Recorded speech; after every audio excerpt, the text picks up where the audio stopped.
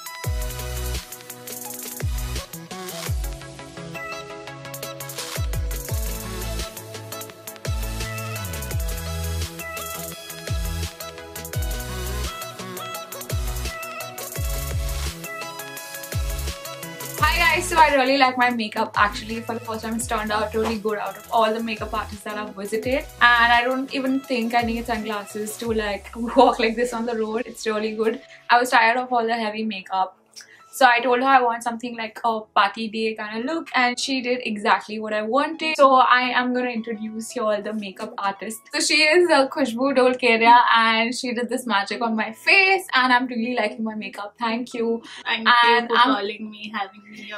I am obviously going to leave all her socials down in the description box below. So do check her out, follow her because she does some really amazing work on various models and actors. Right now I also look like one.